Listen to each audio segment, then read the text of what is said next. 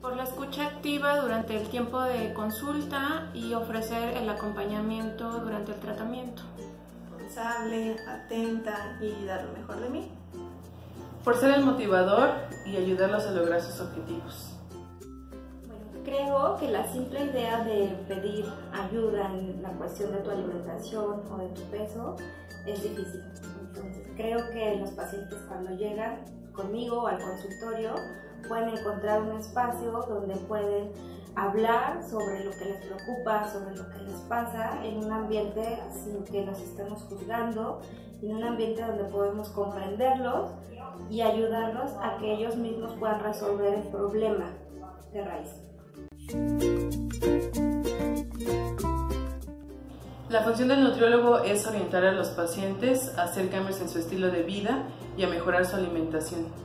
Una de las principales funciones del licenciado en nutrición es acompañar al paciente a la modificación de hábitos de alimentación que ayude a lograr parte de sus objetivos planteados y mejorar su calidad de vida.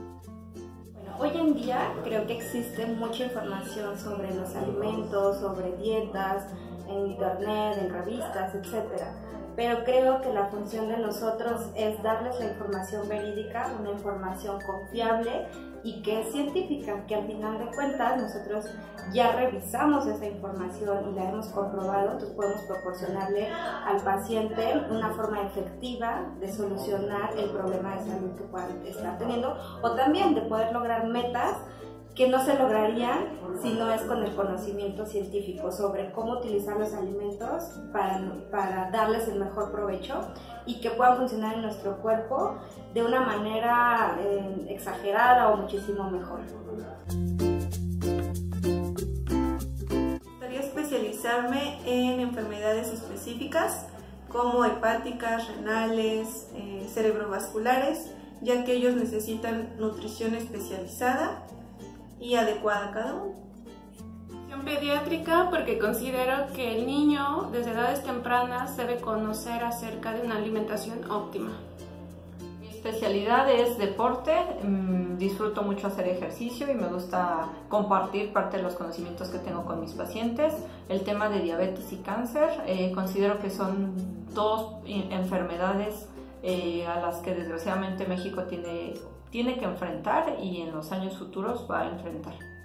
Esa es la causa por la que he decidido especializarme en deporte, en diabetes y cáncer. Era pacientes adultos mayores o mayores de 60 años, porque es una población vulnerable que necesita gran ayuda.